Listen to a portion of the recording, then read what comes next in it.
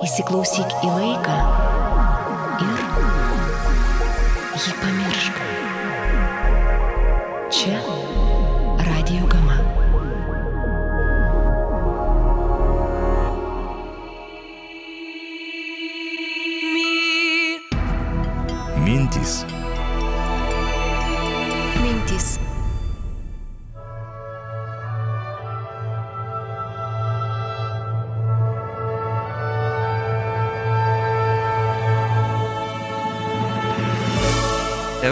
Opinija.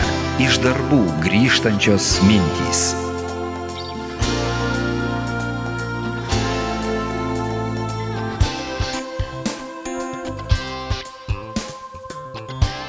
Klaipėdos universiteto mokslininkai turi ambicijų - ištirti tai, kas iki šiol neištirta, sukaupti po pasaulį įsklidusią mūsų šalies, mūsų krašto archyvinę dokumentinę medžiagą, išanalizuoti Baltijos regiono šalių kaiminių istorinius šaltinius, kad galėtume, ko ir kiek galėtume, mokslininkams, o gal net mums, ko gero, nors kiek labiau paaiškės vėliau, kuomet sulauksim prieš porą metų pradėto įgyvendinti projekto, pavadinto vertybių transformacijos Baltijos regiono rytinėje pakrantėje brandžiaisiais viduriniais ir ankstyvaisiais naujaisiais amžiais rezultatų. Šimtaprocentinę paramą, milijoną ir beveik 240 tūkstančių litų Klaipėdos universiteto mokslininkų projekte numatytiems darbams iš 2007-2013 metų lėšų skyrė Europą pagal žmogiškųjų išteklių plėtros veiksmų programą bei šios programos prioritetą - tyrėjų gebėjimo stiprinimas. Kokių tikslų vedini Klaipėdos universiteto mokslininkai prieš keletą metų ėmėsi istorinių archyvų paieškų, kokius atsakymus juose tikisi apčiuopti, kas jau atskleista ir sukurta atradimams išsaugoti, išsiaiškinkim pradedami viską nuo A. Nuo A iki Oho. O A tai idėja. Ja įvardijo vienas pagrindinių projekto dalyvių Klaipėdos universiteto Baltijos regiono istorijos ir archeologijos instituto vyresnysis mokslo darbuotojas daktaras docentas Vacys Vaivada. Idėja šito projekto Klaipėdos universiteto Baltijos regiono istorijos archeologijos institute įtvirtinti naują tokią tyrimų kryptį, sorientuotą į viduramžius ir ankstyvuosius naujosius laikus. Tai maždaug būtų 12-18 amžius, nes ypatingai 15 amžiaus pabaigoje ir 16 amžiaus pradžioje visoje Europoje juntamas labai didelis pasikeitimas. Kas jį sąlygoja? Na, nu, aišku, mes galėtumėm kalbėti ir apie technologinius lygmenis, kalbėti apie mokslą ir apie meną kalbėti. Bet e, kitas dalykas taip pat yra pakankamai svarbus ekonomika, pokyčiai visuomenės gyvenime ir yra pokyčiai konfesinėme gyvenime. Prieš gilinantis dar daugiau, dėrėtų paminėti, kad naujos tyrimų krypties suformavimas, lyg projekto priešistorė, užgimė daugiau kaip prieš porą dešimtmečių, kartu su Klaipėdos universitetu. Kuriantis uostameščio Alma Mater, vienas jam keliamų uždavinių - sukurti visaverčius tyrimų bei mokslo ir studijų centrus, kuriuose būtų galima atlikti pilnaverčius tyrimus, ruošti naujus tyrinėtojus. Šiems tikslams pasiekti buvo būtinas skaitmeninis archyvas. Jį nuo 94-ųjų mokslininkų komanda ėmė kurti tuo metu Tarptautinėme universiteto istorijos centre. Įsprendę skaitmeninimo techninės užduotis, mokslininkai jėgas nukreipė šaltinių paieškoms - Klaipėdoje, Vilniuje ir ypač Vokietijoje, kurios archyvose, kaip ir tikėjosi, aptiko karo metu iš Klaipėdos išgabentus viduramžių ir ankstyvųjų naujųjų laikų archyvinius dokumentus ir pačios Vokietijos sukauptą medžiagą, galinčią padėti išvelgti istorinės tuo metu Lietuvos ir Vokietijos paraleles. Kad mokslininkai apie esamą medžiagą ne tik galėtų žinoti, o ją ir įsamei ištyrinėti bei prireikus visuomet turėti po ranka, kaip tik ir buvo reikalingas šis projektas. Jo dėka džiaugiasi antrasis projekto dalyvis istorikas Dainius Elertas. Į Klaiptos kraštą sugrįžta, atvyksta labai daug įvairių šaltinių, kurie iki tol, sakykime, buvo prieinami, bet saugomi skirtingose vietose ir jų iš ties daug. Tai yra ir Berlynas, ir Varšuva, Gnieznas, Minskas, žinoma, Vilniuje esantis šaltiniai tai kopijų pavydalu jie grįžta čia. Grįžta suskaitmeninti arba įvairiomis kitomis formomis. Dalį šaltinių teko skaitmenizuoti vietoje, tai yra jau šito projekto kaip ir papildoma pridėtinė vertė, nes buvo įsigyta technika leidžianti tą daryti.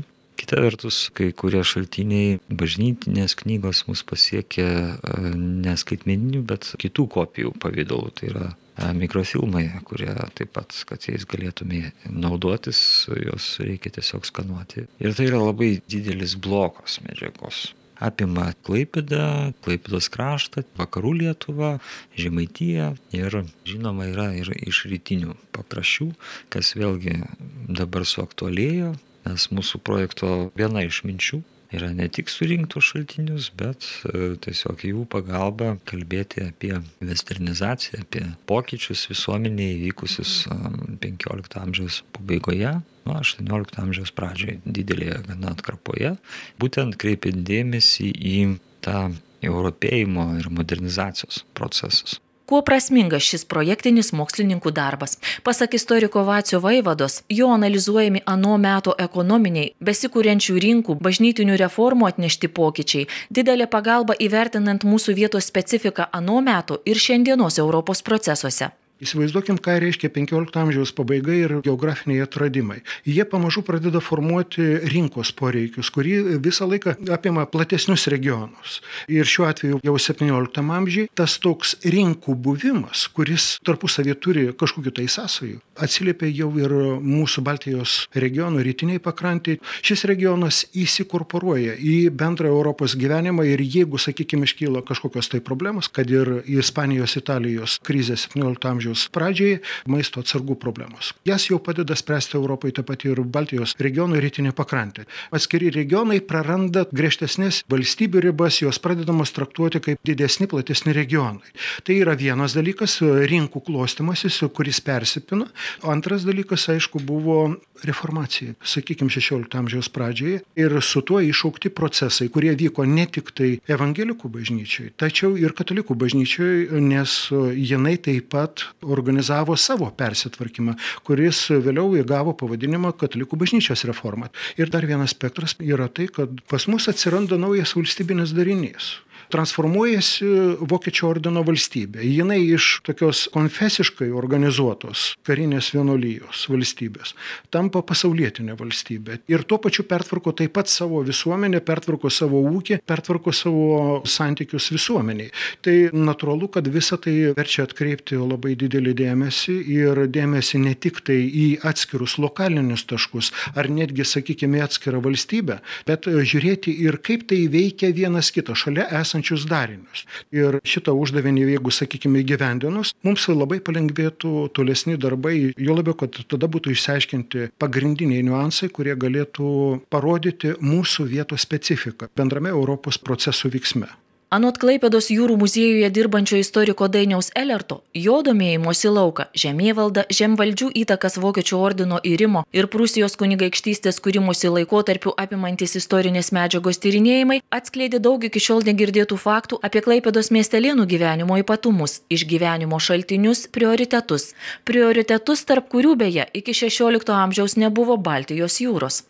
Vienas iš įdomių tokių pastebėjimų tai buvo Klaipėdos miesto 16 amžiaus tokia gana intensyviai vystimosi atkarpa tarp 1510-1540 metų. Teko daryti tokį pjūvį. Pirmą kartą pamatyti plačiau pačią visuomenę, pagauti miestiečius, pagauti konkrečias šeimas, jų pavardas, sužinot, ko jie alsavo, ko užsiemė, kiek jų buvo ir panašiai. Iki to laiko, kada Klaipėda atsigrėžė į jūrą, nes iki tol tuo visiškai neužsiminėjo, praktiškai tuo užsiminėjo tik tai Klaipėdos valdytojai bet patys miestiečiai jūros nematė savo horizonte, jiems ji buvo ne tai, kad neprieinama, bet neaktuali kas vėlgi mums dabar atrodo labai keista, bet būtent tai yra va, tas laikas, kada įvyksta lūžis, kada klaipėdiečiai iš naujo atranda jūrą ir galimybės naujas pradeda kurti. Manau, kad būtent tuo metu tos galimybės ir paskatino tos klaipėdas konkurentus karaliaučių, Gdanską, Dansigą tuometinį, na, į klaipėdą atkreipdėmėsi ir pradėti su ją skaitytis, bandyti užgneušti, prasidėjo konkurencinis šokis, reiškia, kuris paskui tą klaipėdą pakėlė kaip ant sparnų. Tai apčiuopti tą ankstyvąjį laikotarpį, kažką sužinoti iš viso daugiau nei tos tradicinius du puslapius, kuriuos ten daug maž kartodavo visi iš to pačio nu, Nerkos Lieps Zembryckio. Na, ir iš esmės daugiau nieko nevyko, tai čia toks savotiškas proveržis. Paaiškėjo nemaža ir kaimininių miestų istorinių detalių. Buvo labai įdomu apčiuopti, kas atsitiko kitoje šiaurinės Prūsijos daly, ties Karaliaučių, ties Tilžė, Ragainė. Vėlgi ten įvyko gan įdomus procesai per labai trumpą laiką, tarp 1514-1553 metų, nuo vienos karčiamos ir nedidelio kažkokio tai miestelio gyvenvietis šalia jos. Ir pilies staiga išsivystė bendruomenė, kuri jau praėjus dviem kartom jau gavo miesto statusą tai pasiekti, kas tai nulėmė tą tokį spartų augimą, kaip tai susijęs su viso krašto, reiškia dalykais, tai buvo irgi, manau, toks prasmingas užsiemimas ir tikrai nauji tokie paužiūrėjai atsiskleidė. Apie iki šiol neakcentuotas mums iš istorijos žinomų visuomenės veikėjų, rašytojų, dvasininkų materialinio gyvenimo pusės gali būti smalsu sužinoti ir ne vien mokslininkams. Pavyzdžiui, Pavyzdžiui, buvo labai įdomu pačiam patirinėti, gan netikėtai Mažvido palikimą ir paaiškėjo, kad nepaisant labai daug parašytų knygų, tekstų ir panašiai, paaiškėjo, kad jo tas realus gyvenimas yra po amžinatelis Ročkos mirties. Marcelino Ročkos, žinoma, tyrėjo jo tyrimai yra sustoję. Taip, yra surastas vienas naujas laiškas, bet pažinimas pačio asmens dėja jis yra iki šiol nepažintas, nepaisant to, kad jis ir valgė, ir rūpinosi savo šeimos gerbuviu, ir galų gale kokia ta šeima buvo. Ir paaiškėjo, kad Mažvidas, kaip ir daugelis tuo metu žmonių, ieškojo užnugario ir jo žmonos indėlis tam tikras uošvio, kuris jau buvo miręs, jo įdirbis, jo ratas. Paaiškėjo, kad jeigu ragainiais konfliktavo su pagrindiniu ragainės administratorium, tai tai galėjo daryti tik todėl, kad Tilžėje jį rėmė gana didelė tokia įtakingų vokiškos tautybės asmenų grupė. Ir be jos paramos klausimas, kiek jis ten būtų galėjęs taip aštriai kalbėti. Kita vertus paaiškėjo, kad Mažvidas turėjo nekilnojamo turto. Jie iš žmonos pusės Tilžėje pavyko lokalizuoti netgi tą vietą, kur stovėjo tas namelis, jam priklausęs ir panašiai. Nu, žinoma, tai nėra šio projekto tikslas kaip pagrindinis, tai yra daugiau toks šalia esantis dalykai, kurie varant tą pagrindinę vagą išlenda į paviršių Klaipėdos universiteto Baltijos regiono istorijos ir archeologijos instituto jaunesniojo mokslo darbuotojo Dariaus Barasos tyrimų tema - konfesionalizacijos procesas Klaipėdos valščiuje - 17-18 amžius. Tai nėra vien tik bažnyčių tyrimai arba konfesijų tyrimai. Netgi pagrindinis turbūt akcentas būtų visuomenės, kaip konfesija ir religija keičia visuomenę kaip religija skverbiasi į politinį gyvenimą, kultūrinį, visuomeninį gyvenimą ir kaip e, religinė dvasia viskas naujai keičiasi. Na, sakykime, politiniam lygmenį 17-18 amžius sakralizacija valdovo. Reiškia, valdovas tampa iš Dievo malonės. Visuomenės lygmenį galima žiūrėti kaip, kaip religijos, reiškia, pagalba, kontroliuojami pavaldiniai, paverčiami lojalūs valstybei, pačiam valdovui, tokio teisės rytį irgi labai galima aiškiai matyti pasaulietinėse teisės dokumentuose arba teisynuose. Atsiranda labai gausų tokių religinių formuluočių arba tiesiog moralinių religinių dalykų. Ką šiandien galima matyti iš konfesionalizacijos pasiekmė, galbūt tokia liekanos galbūt yra tai, kad mūsų didžioji visuomenės moralė, didžioji įstatymų bazė yra vis dėlto paremta krikščioniškom vertybėm. Sklaidydamas reformacijos vėlyvojų ordino laikotarpių surašytų kronikų puslapius ir bandydamas perprasti autoriaus mąstymo būdą, kad galėtų atskirti tikrus faktus nuo išgalvotų, dar vienas projekto dalyvis, Klaipėdos universiteto jaunesnysis mokslo darbuotojas Egidijus Miltakis, pluša mentalinės istorijos srityje reformacijos laikų labai svarbus pakitimai vyko ir mentalinėje plotmėje, tai yra žmonių mąstyme, požiūrė į tam tikrus daiktus, tam tikrus gyvenimo reiškinius ir tam tikri dalykai turėjo pakankamai ilgalaikį poveikį, kuris buvo jaučiamas iki pat 20 amžiaus pradžioje. Dabar aš koncentruojuosi ties keliomis kronikomis, na, visų pirma, ties Simono Grunau kroniką. Yra pakankamai garsi, visų pirma tuo, kad joje aprašytas žymusis pasakojimas apie svarbiausią prūsų šventvietę Rikojote, ar tai Atvados Birgiečio Romuva. Tas pasakojimas turėjo tikrai didelį įtaką tolesnei istoriografijai, tam tikriems vaizdiniams apie pačius prūsus, apie prūsų religiją ir jų gyvensiną XVI amžiuje. Taipogi galbūt pavyks atskleisti tą būtent autentiką objektyvą informaciją kas iš tikrųjų tose kronikose gali būti autentiška, tai yra ar prūsai iš tikrųjų buvo pagonis, ar kaip teigia kai kurie vokiečių mokslininkai, ta prūsų pagonybė, tas sinkretizmas tarp pagonybės ir krikščionybės, tai buvo tam tikras instrumentas, naudojamas tiek katalikų, tiek protestantų gyvendinti jų tikslus, padedantis jų veiksmams. Atskleidus tą vidinę logiką, tos autoriaus mąstymo ypatumus, jo naratyvų kūrimo schemas, būdus, negalima bent šiek tiek objektyviau kalbėti apie jo pateikiamų tų istorinių faktų, istorinių pasakojimų teisingumą ir objektivumą. O to objektivumo, kaip pastebi mokslininkas, šiandien labai trūksta. Daugelis tų faktų, kai kurių tų pasakojimų yra pakankamai giliai įėję į mūsų istorijos suvokimą, tie dalykai vis atsiduria istorinėse knygose, ar populiarioje istorijoje tai na kad vytautas turėjo sūnų kuris buvo grunau kronikoje tai neteisingas faktas bet pakankamai populiarus ir netgi šiais laikais kartais paminimas. Na ir mūsų kraštui klaipėdos kraštui žymusis mažos lietuvos paminėjimas kuris kartais vis nuolat išlenda yra pakankamai dažnas ir populiarus teiginys. Tačiau iš tikrųjų grunau minėdamas būtent tą mažąją lietuvą jisai turėjo visiškai kitus dalykus. Taigi gilesnis tos kronikos tyrimas ir kitų kronikų Luko Davido, ir Melmano, ir Štenzelio Bonbacho. Na, manau, leis įvairius istorinius dalykus patikslinti, kai ką naujo galbūt pasakyti ir būtent giliau suprasti reformacijos procesus, įtaką mentaliniai kultūrai, kas galiausiai labai prisidėjo ir prie baltų kultūrų tobulėjimo, jų transformacijos į mažlietuvių etinę bendruomenę. Kalbant apie projekto mokslininkų komandą, pirmiausia reikėtų išskirti jos išskirtinį vadovą, pabrėžia istorikas Vacys Vaivada.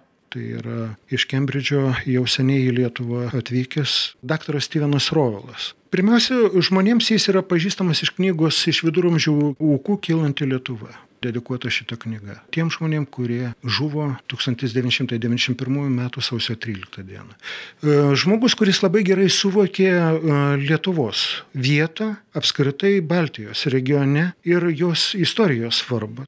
Būtent dėl šito jis atvažiavo dirbti į Lietuvą.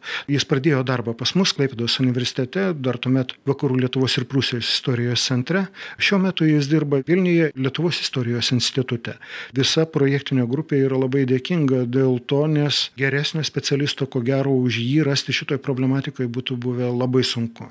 Daktaro Steveno Rovelo vedama istorikų komanda - Darius Barasa, Egidijus Miltakis, Dainius Elertas, į Žemaitijos dvarų istoriją besigilinanti Jolanta Skurdauskienė, viduramžių specialistas Marius Ševinskas, Vacys Vaivada, šiandien išnaršė Vokietijos, Lenkijos, Baltarusijos, žinoma Lietuvos archyvus, didelę dalį suplanuotų darbų jau nuveikė, pasakoja istorikas Vaivada sąrašo dokumentų, kuris e, turėjo būti sudarytas e, ir kurio pagrindu yra pradėtas formuoti. Pagrindas, sakykime, bent jau toks, kad galima būtų remtis užsakant dokumentus tokiam skaitmeniniam žinynui. Šitas pagrindas yra padarytas iki kitų metų, praktiškai iki projekto pabaigos. Turim mokslinį žinyną išleisti jį tradiciniu pavydalu, tai yra knyga, ne tik tai skaitmeniniu, iš kitų atliktų darbų.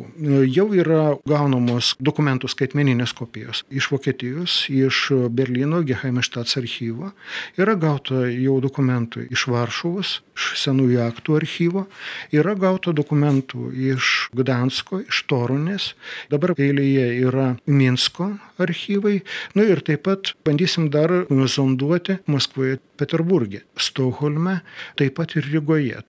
Yra sukontaktuota ir su Vilniaus universiteto bibliotekos rankraščių skyrium, prašėm galimybės leisti įsigyti skaitmenines Žemaičių žemės teismo knygų kopijos. Dar vienas dalykas, kurį mums pavyko jau įgyvendinti, tai yra, aišku, techninė bazė, tiek kompiuteriai, tiek fotoaparatai, galų galia rankinis skaneriukas, Buvo įsigytas ir didesnis Bukoje 3 tipo skeneris, kaina jo didelė - 160 tūkstančių, tačiau tikrai nesigailim nes jis šiais metais leido pradėti naują etapą. Kitas dalykas, kurį mes taip pat jau esam padarę, tai įvyko pirmoji iš dviejų tarptautinė konferencija kiek mes matom, yra labai didelis susidomėjimas ir tarp užsienio mokslininkų dirbančių pagal siaurą tyrimų spektrą, būtent reikalinga mums. Po šitos konferencijos labai akivaizdžiai matosi, kad bendradarbiavimas su jais mums nenutrūks ir dar daugiau mes matom, kad vyksta ir tam tikra plėtra. Bando prisijungti ir daugiau institucijų, Kitąmet, kuomet numatyta projekto pabaiga, galima bus konkrečiau įvertinti rezultatus, tačiau jau ir šiandien mokslininkų galvose minčių sočiai. Iš darbų grįžtančios mintys. Projektas ambicingas, vertintamas dabartinę ir projekto pradžios situaciją pripažįsta istorikas Vacys Vaivada. Apskritai šitas projektas jeigu žiūrėtumėm į tai kaip jis yra įgyvendinamas ir kokiom jėgom galima būtų įvardyti kaip ambicingą pasižiūrėkim su kuo tenka susidurti istorikams čia dirbantiems klaipėdoj jokių didelių dokumentų saugyklų nėra. Nuosekliai kauptų bibliotekų didesnių taip pat mes neturim Ir šiandien Klaipėda pakenčiamų bent jau dokumentų saugojimui patalpų neturi. Klaipėdoje nėra. Net ir tada, kai pradėjom dirbti istorijos centre dar, 94 metais. Jau tada svarstėm, kad vargu ar verta kaupti Klaipėdoj popierinių pavydalų. Tai yra autentiškųjų pavydalų dokumentika.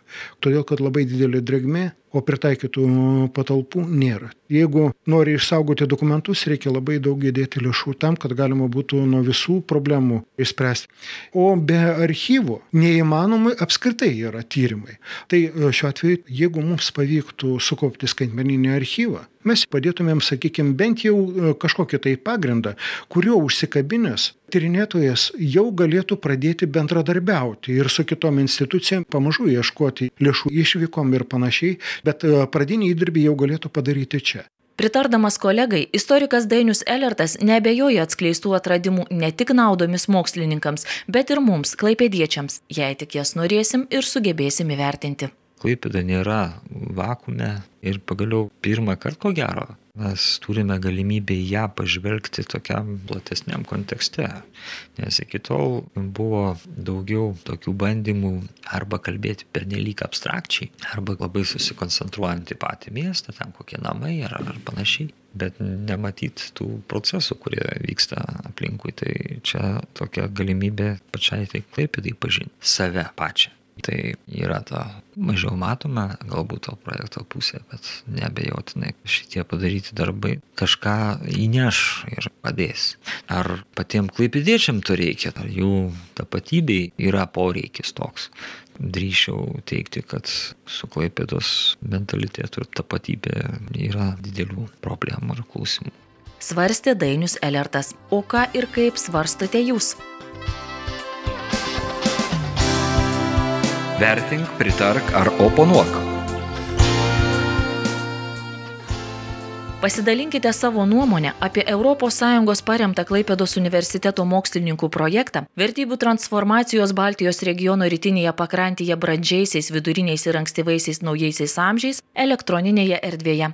Savo laiškus siūskite adresu klausk eta radiogama.fm. Laidos pabaigoje priminsiu, kad ES skirdama lėšas Klaipados universiteto ir panašiems žmogiškųjų išteklių plėtros veiksmų programos projektams įgyvendinti siekia didinti gyventojų ekonominį aktyvumą ir užimtumą, skatinti kokybiškų darbo vietų kūrimą ir užtikrinti lygias galimybės visiems dalyvauti darbo rinkoje ir visuomenės gyvenime, padidinti Lietuvos gyventojų galimybės mokytis visą gyvenimą, gerinti žmogiškųjų išteklių kokybę ir kiekybę, stiprinti administracinius gebėjimus ir didinti viešojo administravimo administravimo efektyvumą.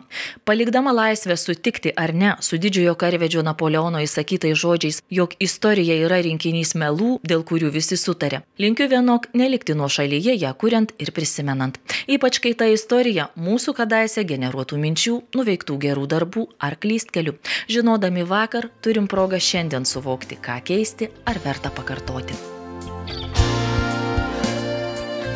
Euro opinija. Iš darbų grįžtančios mintys. Daugiau informacijos apie ES struktūrinių fondų finansuojamus projektus dairykitės interneto svetainėje esparama.lt skiltyje įgyvendinami projektai. Laida finansuojama ES struktūrinių fondų ir Lietuvos Respublikos lėšomis.